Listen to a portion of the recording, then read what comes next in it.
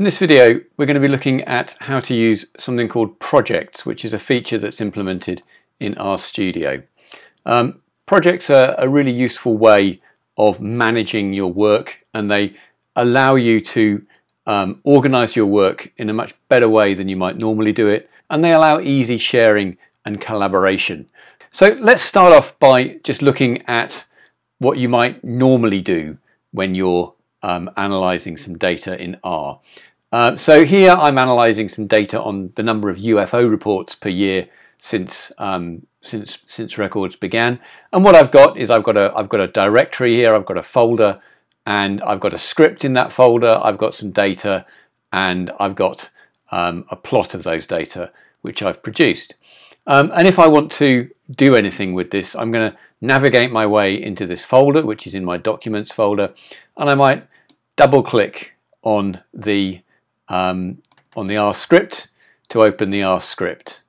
And we can then run this R script and it will it will reproduce our graph for us um, and we could edit it to do to do other things as well.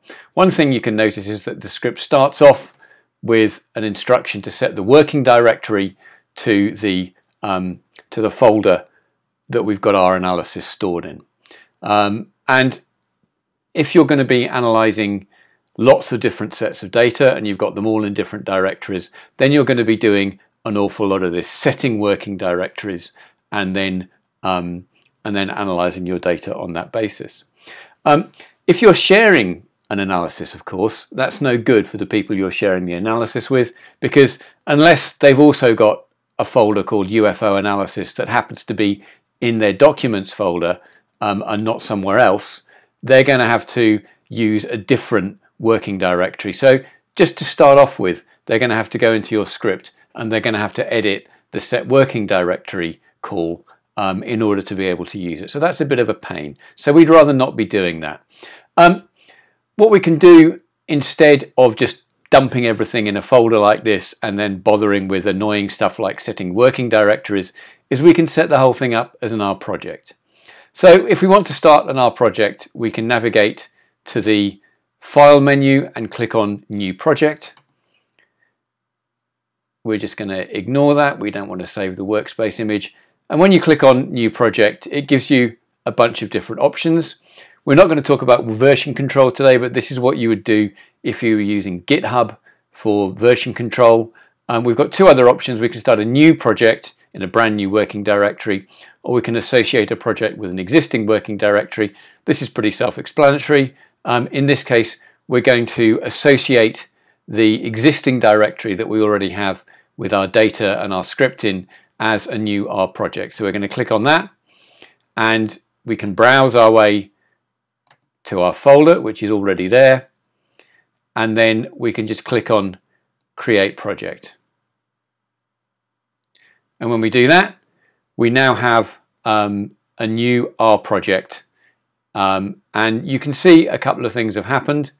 Um, so the files window or the files tab in this particular pane now shows us the contents of our directory. And you'll notice that we've got a new a new file in there ufoanalysis.rproj um, the rproj file is a file that RStudio uses to store information about the project. And now that we've done this it essentially sets the working directory to be the project directory every time you open the project. So if you share a project with your colleagues to collaborate, they don't need to go in and edit the set working directory instruction because they just need to open the project and that will essentially automatically be done. So we've got our project open. The files have appeared automatically in the files window. If we want to open our script window, we've got that and we can now get rid of that set working directory instruction and our script will run just as well as it did before. So let's just run our script. And we've got a plot showing the number of UFO reports by month since the year 1900.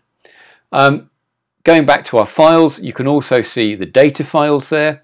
If you click on that, you can, you've got the option to import it if you want to. Obviously, normally we just do it using a read CSV function call here but you might want to do it this way. You can also view the file and that brings it up in a separate tab in the source window here and it's a CSV file so you can see the commas separating the values.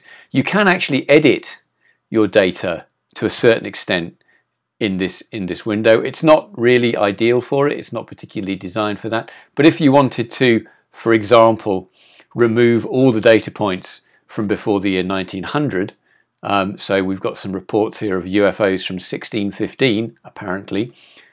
You could do that. So we could just highlight these up to the first value after the year 1900, and we can delete those. And you could then save this as a new file in your R project. So we could call that UFO data 2, and that would then be available. And you can see it's now appeared in our files window here. So if you're using an R project like this, um, you've got the benefit that you open it and everything's there. Um, if you change the arrangement of the panes in RStudio, let's say you want to make the plots nice and big and you want to see them like that, then if you quit RStudio and reopen it, it will remember the arrangement of the panes that you had, which is a fairly small detail, but it's quite a cool thing to do. So we're just going to do that. So we're going to quit RStudio. Yes, we'll save our selected documents. We've quit it, and now we can reopen it by double clicking on the proj file and you can see that it's remembered the layout of panes that we had before. So that's quite handy. We've got various options for opening projects. So if we go to File, then we've got the Recent Projects list here, so we can open recent projects. If you click on Open Project in New Session, then you can have one project open in an RStudio window like this, and then you can open another project in a separate instance of RStudio, which can be another really good way of organizing your workflow and keeping your projects separate from each other. A final thing to point out with using RStudio projects is that you can search within a project. So RStudio will index all of the files in your project and you can actually do a search within a project. Um, this isn't something we particularly need to do for a small project like the one we're looking at here. But if you've got lots and lots of files in your project, that can get very, very handy indeed. You can search for a file name if you use this, this search window up here. So if you want to know which files, for example, have the word analysis in the title, it will give you that one option and you can click on that and it'll open it for you. Um, it will also index all the functions that you specify or the functions that you define uh, in, in your work and you'll be able to search for those. So let's say we set up a function here. Um, maybe we're going to call it big month and it's a function which we could run on count which would just tell us um, which months had more than 600 UFO sightings. So a very simple function. Um, so we've set up a function called big month and we're going to save this script as a new script. So we're going to call it UFO analysis 2 and we save that. And then sometime later we come back and we know there's this function called big month but we can't remember where it is. Um, we can just search for it in this window here and you see it brings up the uh, brings up the option to see that and you can just click on that and it opens the uh, opens the script window at that particular function if you want to do Let's get rid of these. If you want to do a more general search, I don't want to save those. And in fact, we're going to delete that file so that we don't get confused. Yes, we're going to delete that. There it goes. Um, if you want to do a more general search, then you can also use find in files. Um, you can also use the keyboard shortcut for that, which on a Mac is Shift Control F. So find in files. Let's say you know that one of your data files has data for the year 1561.